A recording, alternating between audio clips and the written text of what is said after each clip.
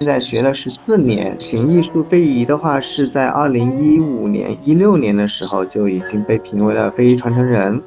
零三年是古琴被那个联合国教科文组织批准为这个人类口头和非物质文化遗产代表作，今年已经整整二十年了。这社会上大家对于古琴还是很陌生，他接触不到，或者说他觉得很高深，他不敢来去体验一下，所以我就做了这个非遗的公益课啊。我们这个课程推出来是。得到了好多人的欢迎，大家都想排课，都想能来学习，但是也是碍于现在是时间精力不够，所以我们只能一个月开一个四期左右，能够每一个月可能有二十多位琴友过来。这个公益课呢，我是不收取课时费的，八个课时，每课时是四十五分钟，每周上一次课，一次课是两个课时，一共来学四次，相当于是一个月的时间。啊，包括了演奏啊，左手、右手啊，关于古琴散音、按音、泛音的基本的训练，要教一些基本的乐理知识。课程里面，我们至少可以学习